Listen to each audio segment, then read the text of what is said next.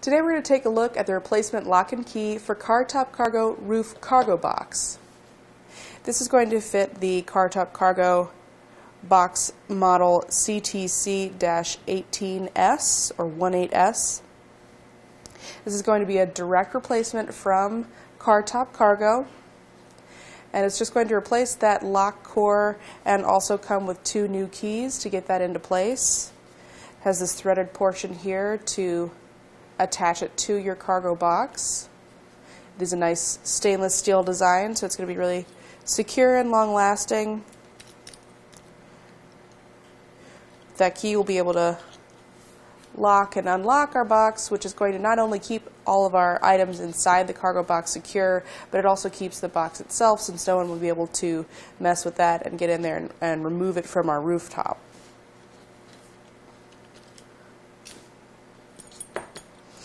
Now as far as some measurements of this lock core, the face of it is going to measure just about an inch and a quarter tall